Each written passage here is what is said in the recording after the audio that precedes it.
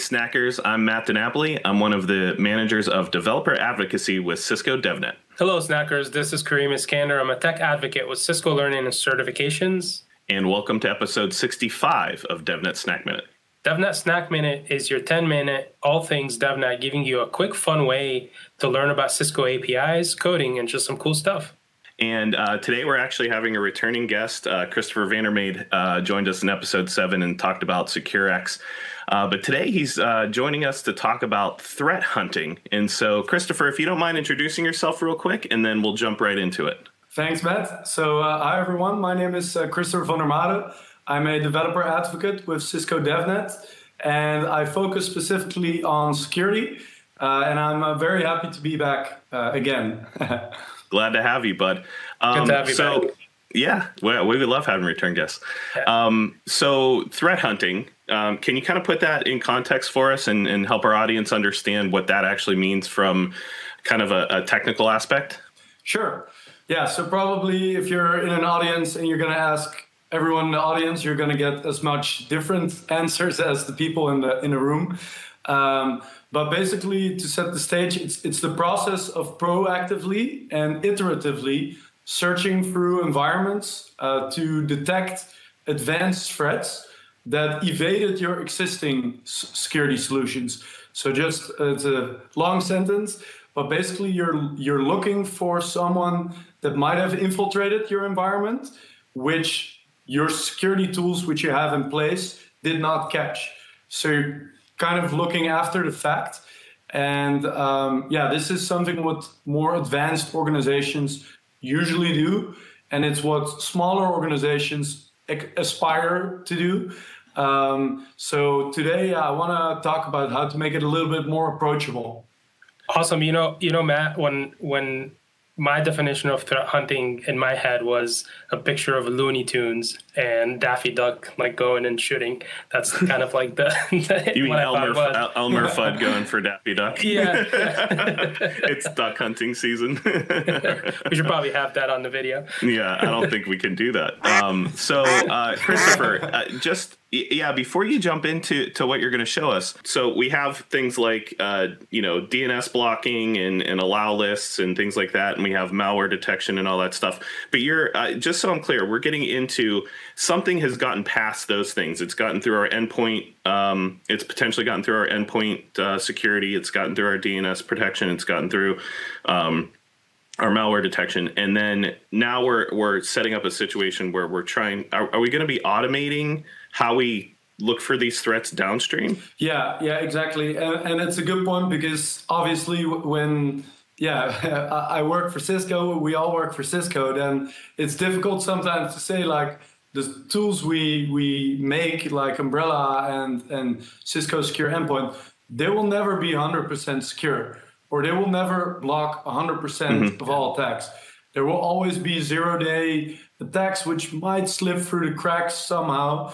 Um, so those those attacks is what we're after. Well, let us see how we can uh, automate these threat hunting activities. Sure. All right. So, and what you can see is the the um, the SecureX dashboard, and actually look back at our previous episode, and uh, I also talked about SecureX. So this is quite nice. I showed there a little bit how to get started and what you can do. Now we're looking at a little bit more of an advanced uh, application of this.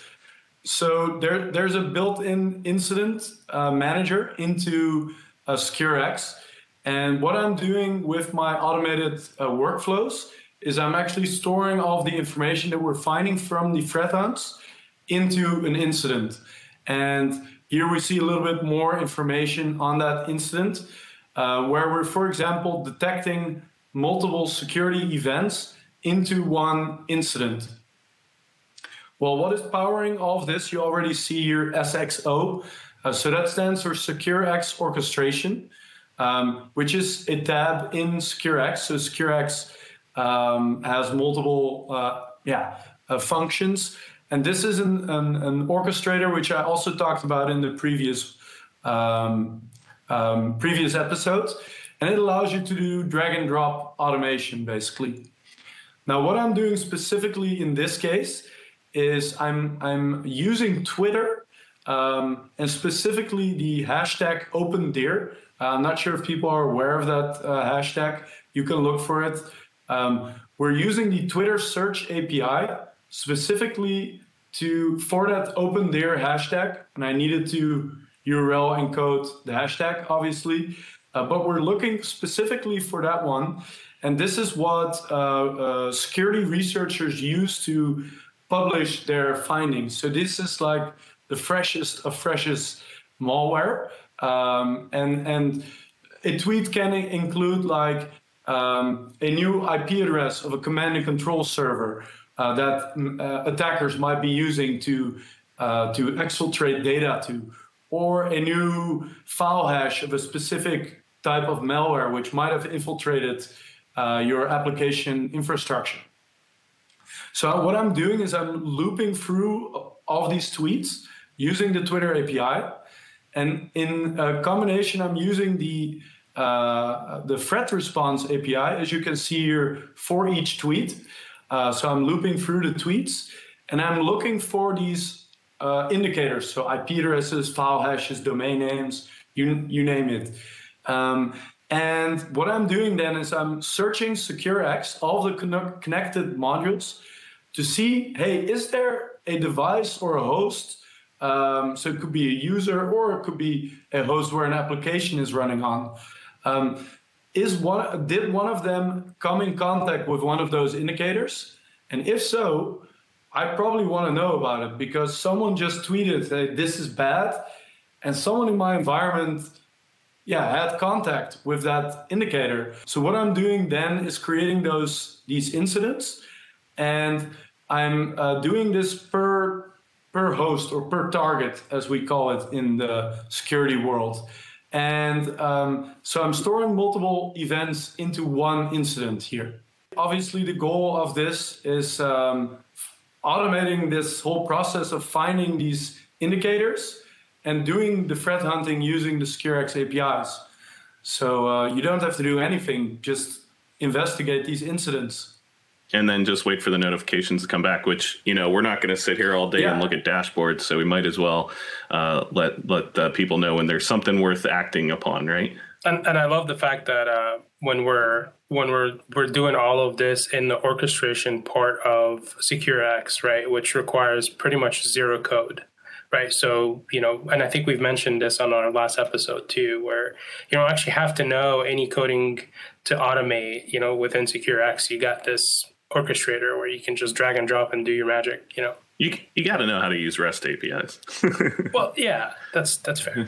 you need to understand the logic, but you don't need to know the actual syntax of a line of code, which is yeah very helpful and makes it more approachable and yeah more scalable okay. because of that. Um, Christopher, unfortunately, we're coming up against time, um, and, but I presume that our snackers out there might want to uh, get started with uh, threat hunting with SecureX. Do you have any suggestions on some uh, content or learning materials they can check out?